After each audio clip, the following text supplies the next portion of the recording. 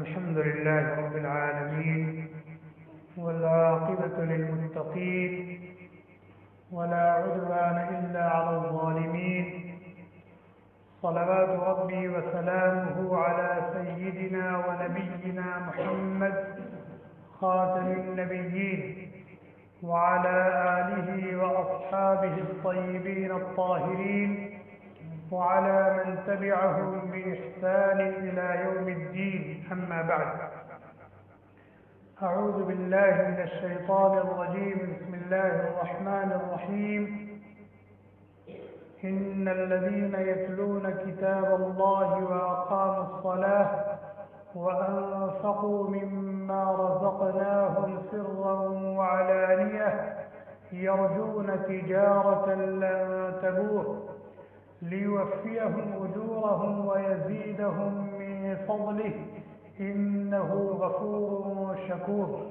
عن أبي برزة الأسلمي رضي الله عنه قال قال رسول الله صلى الله عليه وسلم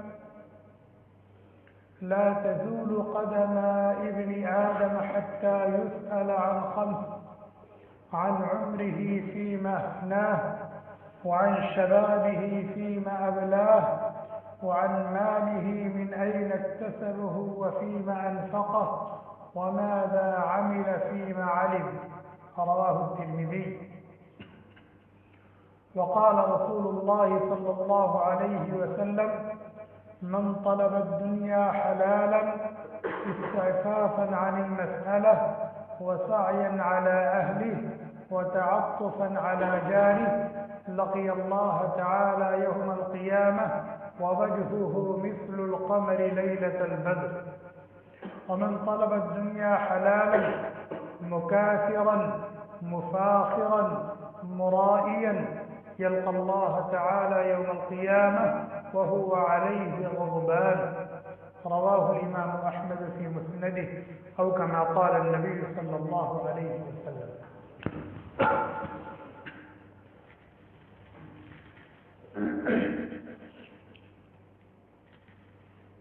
قبر میں انسان سے کتنے سوالات ہوتے ہیں؟ جب انسان مرتا ہے اور پھر اس دنیا سے منتقل ہو کر، اس عالم سے منتقل ہو کر عالم برزخ میں جاتا ہے، تو اس کے پاس دو فرشتے آتے ہیں۔ ایک کو منکر کہا جاتا ہے، ایک کو نکیر کہا جاتا ہے۔ وہ فرشتے آ کر اس شخص سے کچھ سوالات کرتے ہیں۔ کس سے؟ جو اس دنیا سے منتقل ہو کر دوسری دنیا میں گیا، جس کو عالم برزخ کہا جاتا ہے۔ تو کتنے سوالات ہوتے ہیں؟ جی تینوں سوالات سب کو معلوم۔ ایسا امتحان کسی نے دیکھا ہے۔ دنیا میں بھی امتحانات ہوتے ہیں، لیکن امتحان گاہ میں بیٹھا کر کے پھر پرچہ دیا جاتا ہے جس پر سوالات لکھے جاتے ہیں۔ امتحان گاہ میں بیٹھنے سے پہلے، پہنچنے سے پہلے کسی کو سوال نہیں بتایا جاتا۔ اور اگر کسی طریقے سے کسی کو علم ہو گیا تو کہتے ہیں پرچہ آؤٹ ہو گیا، اس کو فوراً چینج کر دیا جاتا ہے، تبدیل کر دیا جاتا ہے۔ لیکن یہ بھی ایک امتحان ہے کہ پرچہ آؤٹ جس کی عمر پچاس سال ہے، اس کو پچاس سال سے معلوم ہے کہ قبر میں کیا سوال ہوگا۔ جس کی عمر چالیس سال ہے، چالیس سال پہلے اس کو بتا دیا گیا کہ قبر میں تین سوال ہوگا پہلا سوال کیا ہوگا؟ مرب بک تمہارا رب۔ جواب بھی بتا دیا۔ سوال بھی اپنے پہلے بتا دیا اور سوال کا جواب بھی بتا دیا۔ کیا جواب بتایا؟ ربی اللہ۔ وما دینک؟ تمہارا دین جواب بتا دیا۔ دین الاسلام۔ ماذا تقول فی هذا الرجل؟ ان کے بارے میں کیا کہہ رہے جناب نبی کریم صلی اللہ علیہ وسلم کی شبیہ مبارک سامنے لائی گئی۔ آپ صلی اللہ علیہ وسلم تو اپنی قبر میں آرام کرنا ہے تو وہاں سے ان کو اٹھا کے لایا جائے۔ یہ تو ان کی بےحرمتی بجائے ان کو وہاں سے ہر ایک کی قبر میں اٹھا کے لانے کے درمیان سے سارے حجابات ہٹا دیے جائیں گے۔ درمیان سے جتنے حجابات ہیں، یہاں سے وہاں تک سب ہٹا دیے جائیں گے۔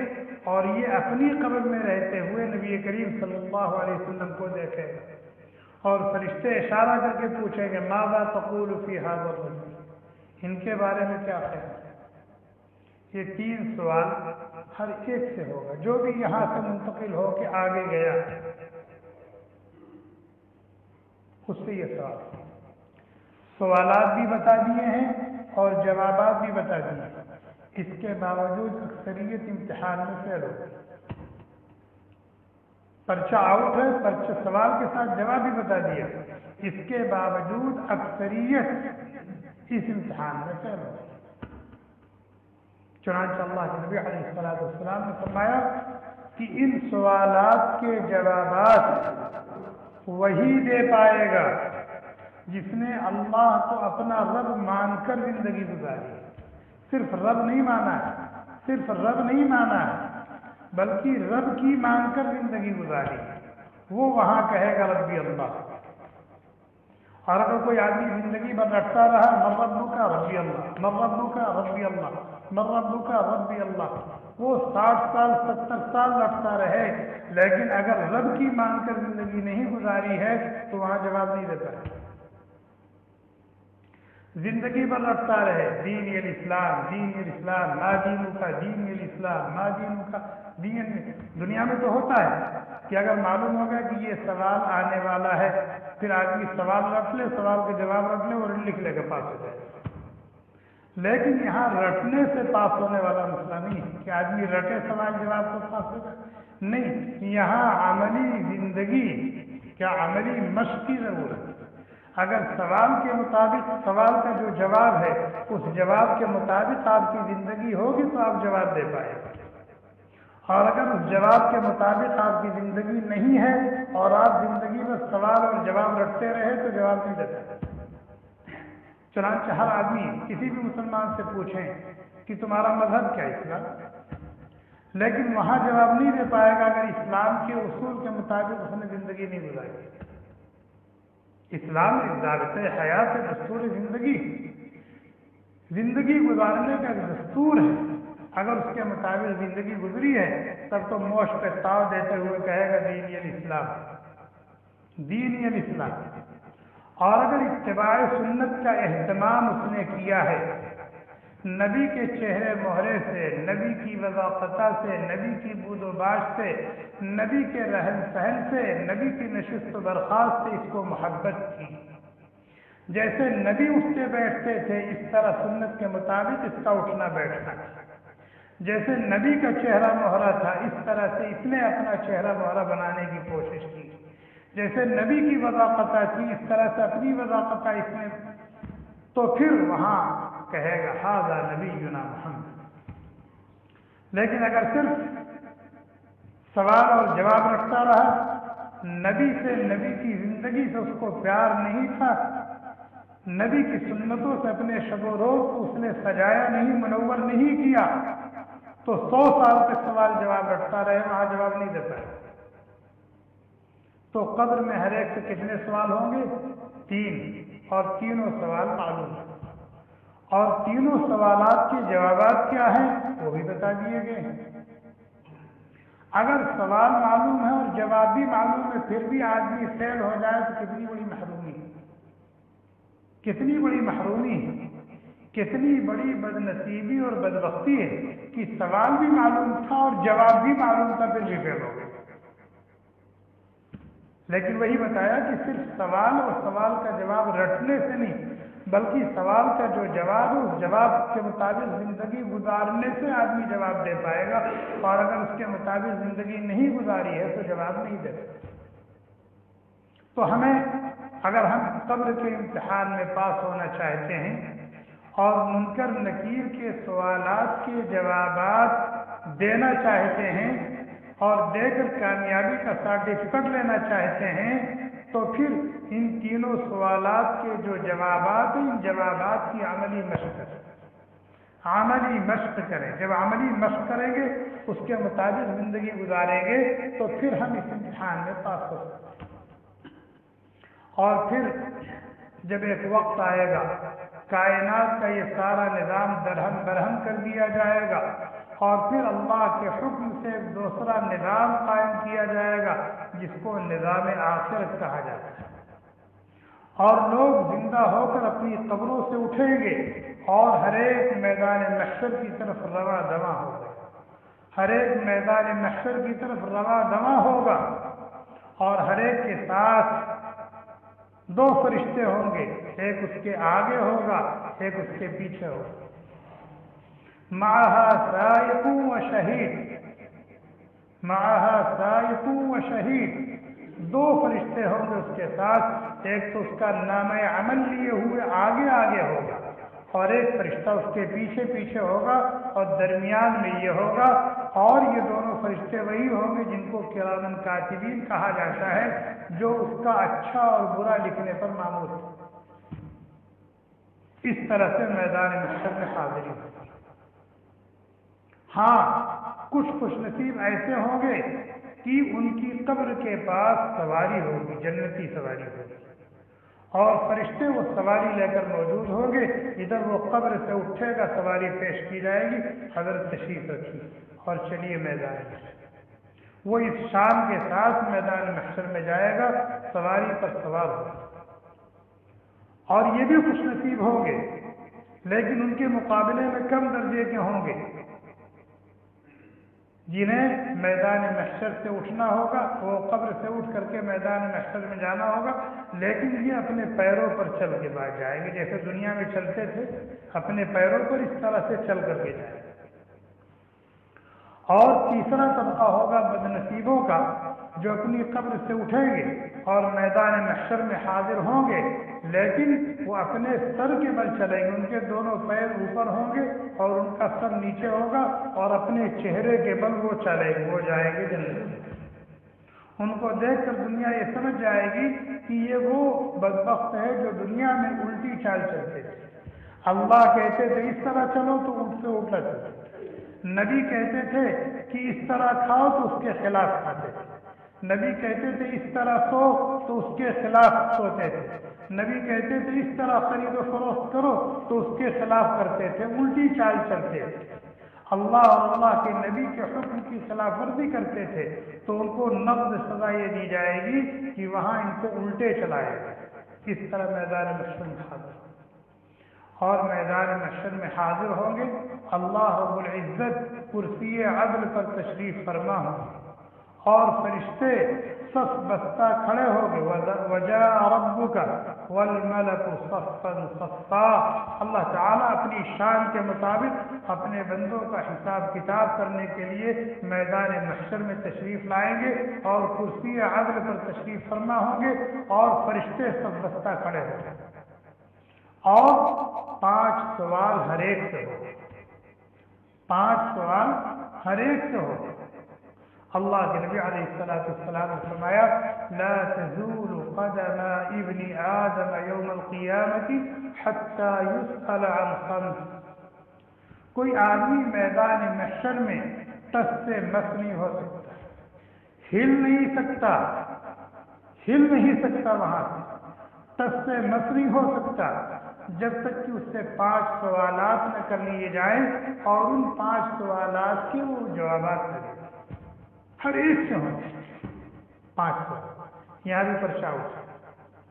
تین سوال قبر کے ہیں، وہ بھی معلوم ہے، اس کا جواب بھی معلوم ہے۔ اور پانچ سوال میدان مشہور اور وہ بھی اللہ کے نبی علیہ السلاۃ السلام نے اللہ کے حکم سے لوگوں کو بتا دیا ہے اور ان سوالات کے جوابات بھی بتا دیا وہ پانچ سوال کون قبر کے تین سوال تو معلوم ہے نا؟ مربو کا ما دینک، ماذا تقول فی هذا الرجل؟ اور میدان محشر کے پانچ سوال کون ہیں؟ سوال نمبر ایک، عن عمره فيما افناه عن عمره فيما افناه ہم نے تم کو ساٹھ سال کی زندگی دی تھی، ستر سال کی عمر دی تھی اسی سال کا موقع دیا تھا۔ بتاؤ، اپنی زندگی کا یہ گرا قدر مایا تم نے کہاں خرچ کیا؟ اپنی زندگی کا یہ گرا قدر مایا اتنی قیمتی ہے، اتنی قیمتی ہے، اتنی قیمتی ہے کہ دنیا میں کوئی چیز ایسی نہیں ہے کہ جس کے ذریعے سے اس کی قیمت لگائی جائے۔ انسان کی زندگی کا ایک ایک لمحہ، ایک ایک لمحہ اتنا قیمتی ہے، اتنا قیمتی ہے، اتنا قیمتی ہے کہ دنیا میں کوئی چیز ہے ہی نہیں کہ جس سے اس کی قیمت کا اندازہ لگائے دنیا میں اس وقت سب سے قیمتی کیا چیز بولے۔ دنیا میں اس وقت سب سے قیمتی کیا چیز جی۔ بھائی، دنیا میں کرنسی ہے۔ کرنسی کی ویلو کس سے لگائی جاتی ہے؟ سونے سے لگائی جاتی کرنسی کی ویلو سونے سے لگائی جاتی ہے۔ اور ملک میں جتنی کرنسی ہوتی ہے، ملک اتنی باویلو ہوتا ہے۔ معیار کیا ہے؟ سونا۔ معلوم کیا ہوا کہ دنیا میں سونے سے زیادہ، سونا وہ جو سلیپ کے معنی میں وہ نہیں گولڈ جس کو کہتے سونے سے زیادہ قیمتی کوئی چیز نہیں۔ لیکن آپ دیکھیں، آپ کی زندگی کا ایک لمحہ، کیا ایک کونٹل سونا اس کی قیمت بن سکتا ہے؟ ایک کونٹل سونا دس کونٹل سونا آپ کی زندگی کے ایک لمحے کی قیمت بن سکتا ہے۔ آپ کے پاس پانچ کلو سونا تھا چھن گئے جاتا رہا۔ آپ محنت اور کوشش کر کے اس کو حاصل کر سکتے نہیں کر سکتے۔ کر سکتے ہیں نا؟ لیکن آپ کی زندگی کا جو لمحہ گزر چکا ہے، دنیا کی کوئی طاقت اس کو واپس کر سکتی آپ کی زندگی کا جو لمحہ گزر چکا ہے، دنیا کی کوئی طاقت اس کو واپس کر سکتی ہے؟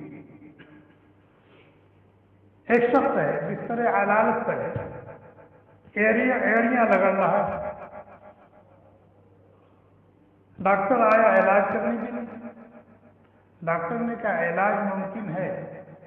کچھ دن کے لیے یہ اور زندہ رہ سکتے ہیں۔ لیکن ان کی ملک میں جو کچھ ہے وہ سب خرچ کرنا بولے گا دینا۔ آدمی دینے کے لیے تیار ہو جائے گا نہیں ہو جائے گا؟ دینے کے لیے تیار ہو جائے گا نہیں ہو جائے گا؟ معلوم کیا ہوا کہ وہ جو اس کی زندگی کے لمحات ہیں، وہ دنیا کی تمام چیزوں سے زیادہ قیمتی ہیں۔ دنیا کی تمام چیزوں سے زیادہ قیمتی ہیں۔ تو جب یہ اتنی قیمتی چیز اللہ تعالیٰ نے ہمیں عطا فرمائی ہے، تو بتائے اس کے بارے میں پوچھے گی نہیں پوچھے گی عن زندگی کا اتنا قیمتی سرمایہ ہم نے تمہیں دیا تھا، ساٹھ ستر سال، اسی سال تم نے کہاں ہم اس مسجد میں بیٹھے ہیں، ایک منٹ کے لیے، ایک منٹ کے لیے یہ تصور کریں کہ میدان محشر میں ہیں ہم اور اللہ تعالیٰ ہم سے سوال کر رہے ہیں اور ہمیں جواب دینا ہے۔ ہر ایک سوچ میں جواب دے سکتا ہے۔ یہ تو کہے گا کہ اے اللہ، میں نے اپنی زندگی میں فلاں سن، فلاں مہینے، فلاں دن اور فلاں دن کی اس وقت میں میں نے نماز پڑھی۔ میں نماز پڑھ رہا ظہر میں نے پڑھی، عصر میں نے پڑھی، مغرب میں نے پڑھی، عشاء پڑھی۔ اتنی دیر تک میں نے تلاوت کی اتنی دیر تک میں نے ذکر کیا اور یہ خیر اور بھلائی کا کام کیا۔ اتنی دیر تک میں نے جائز اور حلال روزی کمانے میں لگایا۔ لیکن اگر پانچ منٹ آدمی نے بدماشی کی ہے، اللہ کو ناراض اور ناخوش کرنے والا کام کیا ہے، تو کیا اس کا حساب دے سکتا ہے؟ کہ اے اللہ، اپنی زندگی کے یہ پانچ منٹ میں نے تیری نافرمانی میں خرچ کی میں ٹی وی دیکھتا رہا اور ٹی وی پر بدماشیاں دیکھتا رہا، نیٹ پر بیٹھا رہا، نیٹ پر بدماشیاں کرتا رہا۔ اتنی دیر میرا شراب پینے میں جگہ حساب دے سکتا ہے؟ آدمی سوچ لو تھوڑی دیر، سوچ لو جواب تو دینا جواب تو دینا ہے، اس سے اس سے تو نفر ہے نہیں۔ اللہ کے نبی نے پہلے ہی کہہ دیا، ٹس سمجھ نہیں ہو سکتا۔ بغیر جواب دیا زندگی کے ایک ایک لمحے کا حساب دینا پڑے گا، ایک ایک لمحے کا حساب دینا ہم اپنا محاسبہ کریں کہ دے سکتے ہیں اور دیں گے تو کیسے دیں گے دوسرا سوال کیا ہے؟ وعن شبابه فيما ابلا انسان کی زندگی کے تین دور ہیں۔ انسان کی زندگی کے تین دور ہیں۔ ایک بچپن ہے، ایک جوانی ہے، ایک بڑھاپا ہے۔ ان تینوں ادوار میں سب سے قیمتی دور کون سا ہے؟ جی؟ سب سے قیمتی دور جوانی کا ہے کہ جوانی میں قوا مضبوط ہوتے ہیں، ہمتیں جوان ہوتی ہیں، حوصلے بلند ہوتے ہیں، آدمی جو چاہے کر سکتا ہے، خیر کرنا چاہے خیر کر سکتا ہے، اور شر اور برا کرنا چاہے شر اور برا کر سکتا ہے۔ چونکہ انسان کی زندگی کا سب سے سنہرا موقع یہ ہے۔ اس لیے اللہ تبارک و تعالیٰ پوری زندگی اور پوری عمر کے بارے میں تو پوچھیں گے، لیکن خاص طور پر یہ جوانی کا زمانہ ہے۔ اس کے بارے میں خاص طور پر پوچھیں گے کہ یہ جوانی تم نے کہاں سے اسی لیے کہا جاتا ہے، شباب شعبت من الجنون۔ الشباب شعبت من الجنون۔ جوانی پاگل پن کی ایک قسم۔ ہے کہ جیسے پاگل ہے، جو ٹھان لے، وہ کرے گا، اس کو اپنی جان کی پرواہ نہیں۔ اسی طرح سے جوان، نوجوان، جب اس نے ٹھان لیا، سوچ لیا کہ مجھے یہ کرنا، مجھے یہاں جانا، مجھے یہ چیز پانی۔ تو ٹھان لیا تو ٹھان لیا، لیکن شرط یہ کہ مرد ہو اور اپنے آپ کو جوان بھی سمجھتا اور اردو میں کہا جاتا ہے، جوانی دیوانی ہوتی ہے۔ جوانی کسی بڈھے سے پوچھو، کیا چاہیے؟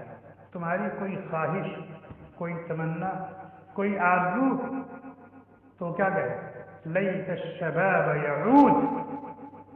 کاش میری جوانی ایک لمحے کے لیے واپس آ جائے میری جوانی کے جو لمحات تھے، وہ ایک گھنٹے کے لیے وہ جوانی واپس آ جائے یہ اتنی قیمتی دور ہے اسی لیے وہ سات خوش نصیب جن کو کل قیامت کے دن اللہ رب العالمین کے عرش کا سایہ نصیب ہوگا۔ اللہ کے عرش کا سایہ نصیب ہوگا، جہاں سایہ عرش الہی کے علاوہ کوئی سایہ ہوگا بھی ان سات خوش نصیبوں میں ایک خوش نصیب کون ہے؟ شاب نشا فی عبادت اللہ عز و جل۔ وہ نوجوان ہے جس نے اپنی جوانی اپنے خالق پر سے کی۔ وہ جوان ہے جس نے اپنی جوانی اپنے خالق و مالک پر فدا کی، اس کو راضی اور خوش کرنے میں لگایا۔ جوان تھا، تحجد پڑھتا تھا، سجدے میں آنسو بہاتا تھا، اپنے رب کو راضی اور خوش کرنے کی فکر میں لگا رہتا تھا۔ یہ خوش نصیب نوجوان۔ اسی لیے کہا جاتا ہے کہ جوانی کا ایک سجدہ جوانی کا ایک سجدہ بڑھاپے کے ہزار سجدے پر بھاری۔ کیوں؟ جوان مسجد نہیں آئے گا، اس کو جانے کے سو سو جگہ ہے سو راستے۔ بوڑھا مسجد میں نہیں آئے گا تو کہاں جائے گا؟ بوڑھا مسجد میں نہیں آئے گا تو کہاں جائے گا؟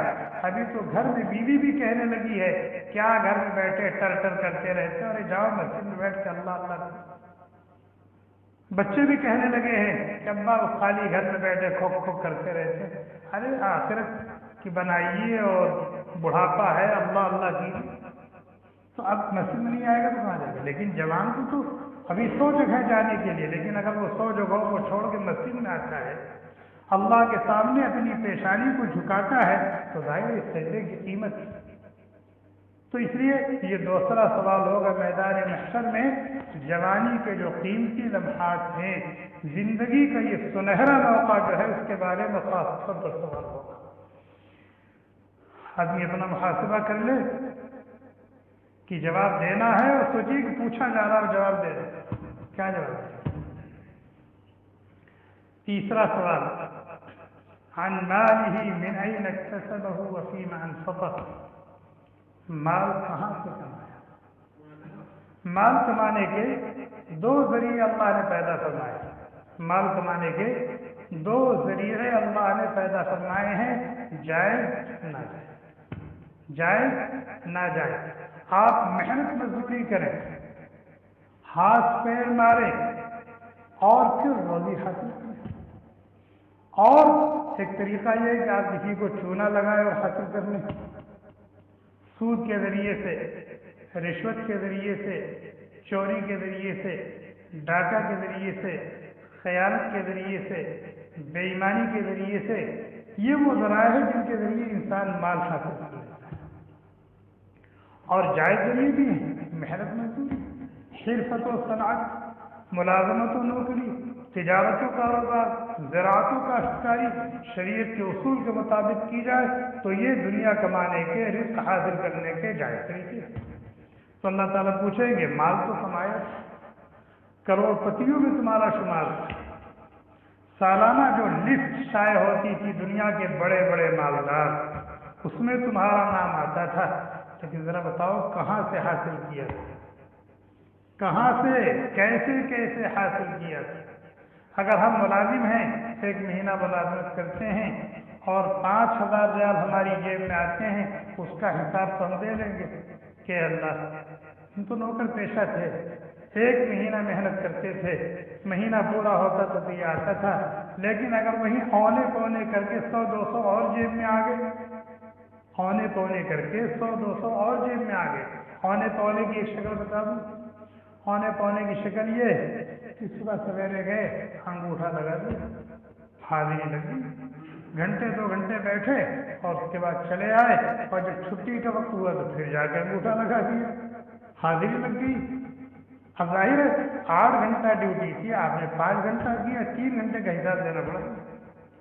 یہ تین گھنٹے کے عوض میں جو آپ کی جیب میں پیسے آئے ہیں، ان تین گھنٹے کا حساب تو آپ کو دینا پڑے پانچ گھنٹے کا حساب دے لیں گے، لیکن تین گھنٹہ یہ تو ایک مثال میں نے دی ہے اونے پونے جو آدمی حاصل کر لیتا ہے، جائز حلال کے ساتھ ناجائز اور حرام، اس کا حساب کیسے اور جس کا الف سے لے کر یا تک، شروع سے لے کر اخیر تک، پورا حرام ہی حرام ہے۔ حرام ہی حرام ہے۔ وہ کیا کہے؟ وہ کیا کہے؟ تو اللہ تعالیٰ پوچھیں گے، کروڑ تھے، کروڑ کا حساب۔ کہاں سے؟ وہاں تو اللہ تعالیٰ حساب لے لے گا، ابھی ہندوستان میں مودی کسی سے حساب لینے لگے تو نہیں دے پا رہے۔ آج کل ہو رہا ہے، یہ پلاٹ تمہارا ہے، کہاں سے؟ یہ بنگلہ تمہارا ہے، کہاں سے؟ یہ فلاں تو تم نے اتنے پیسے دیے، کہاں سے لائے؟ نہیں دے پا رہے لوگ۔ جواب اپنے جیسے انسان کو جواب نہیں دے پا رہے۔ جبکہ اس کو چکما دے سکتے ہیں، اس کو پٹی بڑھا سکتے ہیں، لیکن نہیں دے پا رہے، پھنسے ہوئے ہیں۔ وہاں کیسے وہاں کب وہاں کیا ہوگا تو یہ سوال ہوگا کہاں سے کمایا؟ کہاں سے بنایا؟ کیسے حاصل کیا؟ اس کا جواب دینا کتنا سوال ہو گیا؟ تین ہو گیا۔ چوتھا سوال، یہ کروڑ کہاں خرچ کیا؟ یہ جو کمایا تھا، یہ خرچ کہاں کیا؟ اے اللہ، میں نے مسجد بنوائی۔ ٹھیک ہے۔ اور یہ کہاں خرچ کیا؟ اے اللہ میں نے مدرسہ بنوایا۔ اے اللہ، یہ میں نے فقیر کو صدقہ کیا یہ کہاں اے اللہ ٹی وی خرید لی تھی۔ کیا؟ ایک ٹی وی خرید لی تھی، اتنی بڑی اسکرین کا وہ کیوں خریدا بھائی؟ بچوں کی مانگ تھی۔ بچے محلے میں چلے جاتے تھے ٹی وی دیکھنے کے لیے۔ تو میں نے سوچا، اپنے بچے دوسرے گھر میں کیوں جائیں؟ اپنے ہی گھر میں ماشی گھر میں بیٹھ کے۔ جواب دیں گے؟ کیسے جواب دیں گے؟ بھائی ہمارا ہماری ہمارے پیسے اگر ناجائز اور غلط خرچ ہو رہے ہیں، تو اس کا جواب تو دینا ہے نا۔ یہ اتنے پیسے کہا گئے بھائی تمہارے اس کا حساب نہیں ملا اللہ، میں سگریٹ پیتا تھا۔ سگریٹ پیتا تھا۔ پکڑ ہوگی نہیں پکڑ ہوگی؟ پکڑ ہوگی نہیں پکڑ؟ اگر اس طرح کی آدمی سے اپنے معمولات ہیں، اس طرح کی چیزیں ہیں، تو جواب تو دینا چاہیے تو دو سوال ہو گئے، کہاں سے کمایا، کیسے کمایا اور کہاں خرچ کیا؟ یہ چار سوال ہو گئے، پانچواں سوال ہے۔ ہم نے دنیا میں تم کو بھیجا تھا، تمہیں زندگی گزارنے کے لیے ایک دستور دیا تھا۔ زندگی گزارنے کے لیے ایک دستور دیا تھا، تمہارا ایمان، تمہارا عقیدہ، تمہاری فکر، تمہاری سوچ، تمہارا نظریہ اس طرح کا ہونا چاہیے۔ تمہاری عبادات اس طرح کی ہونی چاہیے۔ تمہارے معاملات اس طرح سے ہونے چاہیے۔ تمہاری معاشرت ایسی ہونی چاہیے، تمہارے اخلاق ایسے ہونے چاہیے۔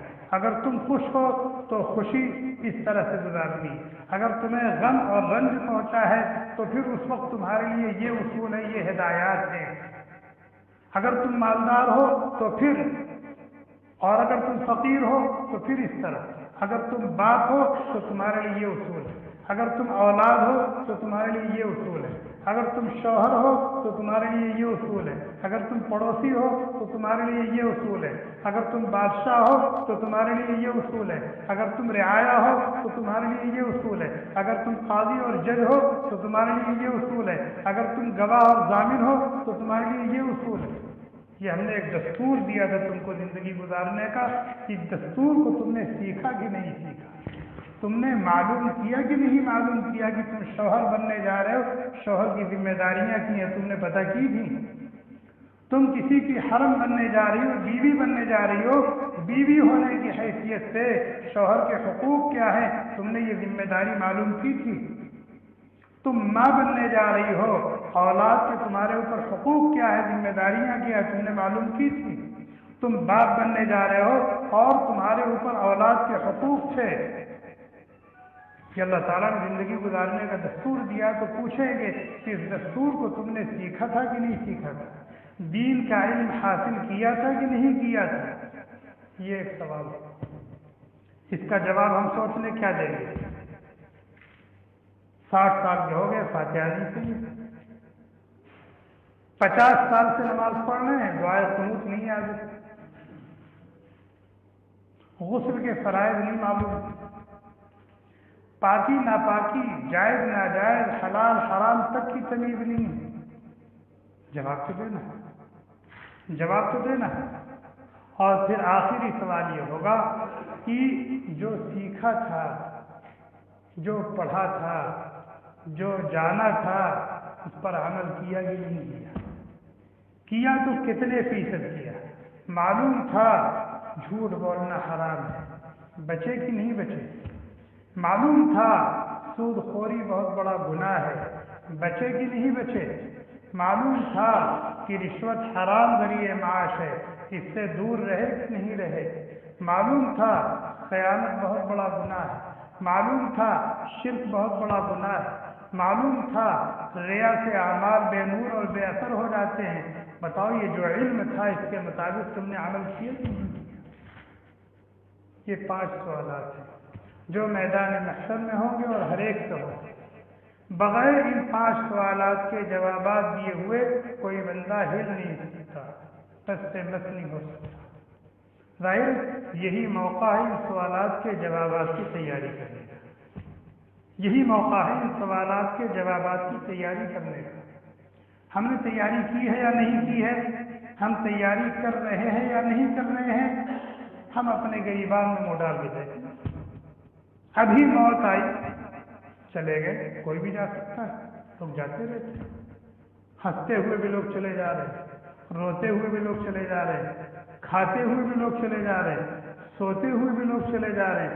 چلتے ہوئے بھی لوگ چلے جا رہے ہیں۔ جا رہے نہیں جا رہے۔ تو اگر ابھی موت کا فرشتہ آئے اور لے کے چلا جائے تو یہ تیاری کا یہ موقع تو ختم ہو گیا۔ تیاری کا تو یہ موقع ختم ہو گیا۔ اگر ہم نے تیاری کی ہے تب تو ٹھیک ہے۔ اور اگر نہیں تیاری کی اور ایسے ہی چلے گئے تو پھر چلے گئے۔ اللہ کے نبی علیہ السلاۃ السلام نے اللہ تعالیٰ کے حکم سے یہ سوالات اسی لیے بتا دیے اور ان کے جوابات بھی بتا دیے ہیں تاکہ اللہ کا بندہ یہ جو موقع لے کر کے آیا ہے اس موقع کو غنیمت جائے اور جو مقصد لے کر کے آیا ہے، اس مقصد کو سامنے رکھ کر زندگی گزارے، تاکہ اس کی دنیا کی زندگی بھی کامیاب ہو اور آخرت کی زندگی بھی کامیاب اسی لیے کہا منظر حاضر دنیا مزرعت الآخر دنیا مزرعت الآخر دنیا آخرت کی کھیتی دنیا آخرت کی کھیتی ہے۔ منظر فیہا خیرا حسب خیرا جو یہاں اچھی کاشت کرے گا تو اس کو اچھا بدلہ ملے گا۔ اور جو شر بوئے گا، ببول بوئے گا، تو اس کو ظاہر کانٹے ہی ملے گا۔ کانٹے ہی ملے گا۔ اللہ تعالیٰ نے فرمایا، حدیث قدسی، یا عبادی، انما هي اعمالكم احصيها لكم ووفيها اياكم فمن وجد خيرا فليحمد الله ومن وجد غير ذلك فلا يلومن الا اے میرے بندو میں تمہاری ہر نقل و حرکت کو محفوظ کر رہا ہوں۔ میں تمہاری ہر نقل و حرکت کو، تمہارے ہر قول و فعل و حال کو محفوظ کر رہا ہوں۔ جب تم میرے پاس آؤ گے، وہ فی اس کا بدلہ تم کو۔ فمن وجد خیرہ جس شخص کو میری رضا مل جائے بدلے میں، جس شخص کو میرا دیدار نصیب ہو جائے بدلے میں جس شخص کو میری رحمتوں کا مظہر جنت اور جنت کی نعمتیں مل جائیں فلی احمد اللہ علیہ ذالک تو اللہ کی تعریف کرے، اللہ کی حمد و صلاح کرے، اس کی فاتح پر، اس کی نوازش پر اور اس کامیابی ومن وجد غیر ذالک فلا يلومن الا نفسه، اور جس کو میرا غضب ملے، میرا غصہ ملے، میری ناراضگی ملے، میرے دیدار سے محرومی ملے اور بجائے میری رحمتوں کا مظہر جنت ملنے کے، میرے غضب اور غصے کا مظہر جہنم ملے اور جہنم کی آزاد ملے، تو وہ اپنے آپ کو کوسے۔ وہ اپنے آپ کو کوسے جیسا کیا تھا ویسے اس کو۔ تو ہم اپنی زندگی کے ان لمحات کی قدر کریں۔ ہم اپنی زندگی کے ان آج تو ہم اتنے احمق ہیں، اتنے احمق ہیں، اتنے احمق ہیں۔ ٹائم پاس کرتے ہیں۔ کیا کرتے ہیں؟ جس ٹائم کا ہم کو حساب دینا ہے اللہ کے یہاں زندگی کے ایک ایک لمحے کا، ہم اس کو بیٹھ کے پاس کرتے ہیں۔ کہاں پاس کرتے ہیں؟ ٹی وی کے سامنے بیٹھ کر موبائل لے کر کے نیٹ پر بیٹھ کر کے کیا کرو؟ Time pass. چار چار ساتھی بیٹھ گئے کہیں، گپیں لگا رہے ادھر ادھر۔ کیا ٹائم پاس ہی نہیں ہو رہا۔ ارے اللہ کے بندے، اتنی قیمتی چیز پکڑنے کی ہے، پاس کرنے کی۔ اتنی قیمتی چیز پکڑنے کی ہے، پاس کرنے کی ہے۔ لیکن ہم ٹائم پاس اللہ کے نبی علیہ الصلوۃ والسلام نے فرمایا، نعمتان مغبون فیہما کثیر من الناس۔ انسان کے پاس تو عظیم نعمت انتہائی قیمتی، قابل قدر، بہت ہی عظیم اور مبارک۔ لیکن جب تک وہ نعمت اس کے پاس ہوتی ہے، تب تک وہ اس کی ناقدری کرتا ہے۔ اور اگر چاہے تو ان دونوں نعمتوں کے ذریعے سے کیا سے کیا حاصل کر سکتا ہے۔ لیکن جب تک وہ نعمتیں رہتی ہیں، انسان اس کی ناقدری اور جب وہ نعمتیں چھن جاتی ہیں، تو کفے افسوس ملتا ہے۔ جب یہ نعمتیں چھن جاتی ہیں، تو کفے افسوس ملتا ہے۔ وہ کون سی دو نعمتیں ہیں؟ تندرستی۔ صحت اور تندرستی، یہ بہت بڑی نعمت ہے۔ بہت بڑی نعمت۔ ہے اگر اس کی قیمت آپ کو معلوم کرنی ہو تو مستشفہ احمد میں جائیے۔ جو لوگ بستر عدالت پڑھ پڑے ایڑیاں رگڑ لیں ان سے پوچھو، صحت کے لیے بڑی نعمت اور ان کی تمنا کیا ہے، وہ چاہتے تھے۔ اور دوسری نعمت کیا ہے؟ فرصت۔ فراغت و فرصت۔ اور ہم لوگوں کو فرصت مل گئی، تو پھر ہم ٹائم پاس کرنے لگے۔ اور جب یہ نعمت چھن جاتی ہے تو آدمی نماز پڑھنا چاہے تو نہیں پڑھ سکتا، ٹائم نہیں۔ قرآن پڑھنا چاہے تو نہیں پڑھ سکتا، ٹائم نہیں۔ لوگ کہہ دیتے ہیں، یار، مجھے تو موتنے کی بھی فرصت نہیں کیا کہہ دیتے ہیں؟ مجھے تو موتنے کی یعنی پیشاب کرنے کی بھی فرصت نہیں، میں اتنا مشہور ہوں، تم نماز کی بات کرو نماز میں تو دس منٹ لگتے ہیں نماز میں تو دس منٹ لگتے ہیں۔ تم دینی مجلسوں میں بیٹھنے کی بات کر رہے ہو؟ آدھا آدھا گھنٹہ بیان ہوتا ہے، یہاں تو موتنے اور جو مہذب ہیں وہ کہہ دیتے ہیں، یار یہاں تو کھانا کھانے کی تو کماتے کیوں؟ جب کھانا کھانے کی کھانے کی فرصت نہیں، تو کماتے کیوں؟ اور یہی اسی علاقے میں ایسے ایسے ساتھی ہیں جو صبح کو ٹفن لے کر کے کام پر جاتے ہیں، شام کو اسی واپس لے کے چلے آتے پھر کھانے کا موقع ہی نہیں۔ کھانے کی فرصت نہیں ملی، اتنا مصروف تو اگر اللہ تعالیٰ نے ہمیں فرصت دے رکھی ہے، ہم تلاوت کر سکتے ہیں، ذکر کر سکتے ہیں، تعلیمی حلقوں میں جڑ سکتے ہیں، دین کی باتیں سن سکتے ہیں، نمازیں اور سنتیں اور نوافل پڑھ سکتے ہیں، تو اس موقع کو غنیمت جانو، کریں۔ اور صحت دی ہے، تندرستی دی ہے، تو اس کی قدر کریں۔ ورنہ پھر سجدہ کرنا بھی مشکل ہو جائے گا، کرسی پہ بیٹھ کے نماز پڑھیں گے آپ۔ اور پھر اشارے سے رکو کریں گے، اشارے سے سجدہ کریں گے۔ اور صحت خراب ہو گئی تو کمرے ہی میں پڑے رہیں گے اللہ تعالیٰ اپنی دی ہوئی نعمتوں کی قدر کرنے کی توفیق عطا فرمائے۔ اور اللہ تعالی ہمیں ان سوالات کے جوابات عملی طور پر اس کی تیاری کرنے کی توفیق عطا فرمائیں جو سوالات ہم سے قبر میں ہوں گے، جو سوالات ہم سے میدان محشر میں ہوں گے، جو سوالات ہم کو معلوم ہیں، جن کے جوابات بھی ہم کو معلوم ہیں بس اللہ تعالیٰ عملی طور پر اس کی تیاری کرنے کی توفیق عطا فرمائیں اپنی رحمت سے، اپنے فضل و کرم سے ہماری دنیا بھی اچھی، سچی اور عمدہ سے عمدہ بنا دیں اور ہماری آخرت کو بھی اچھی، سچی، بہتر سے بہتر اور عمدہ سے عمدہ بنا دیں۔ اللہ تعالیٰ ہمیں توفیق عطا فرمائیں کہ ہم اپنی زندگی کے ایک ایک لمحے کی قدر کرنے والے بنیں۔ اور مال کمائیں تو جائز، حلال طریقے پر اچھی اور نیک نیت اور ہاں خرچ کریں تو جائز اور حلال جگہوں میں اللہ کو راضی اور خوش کرنے والے کاموں میں ہر قسم کے ناجائز اور حرام سے اللہ تعالیٰ ہم سب کو بچنے کی توفیق عطا فرمائیں سبحانك اللهم وبحمدك ونشهد ان لا اله الا انت ونستغفرك ونتوب اليك سبحان ربك رب العزه عما يصفون وسلام على المرسلين والحمد لله Thanks for watching. Don't forget to like, comment, share and subscribe to Al Wahid channel.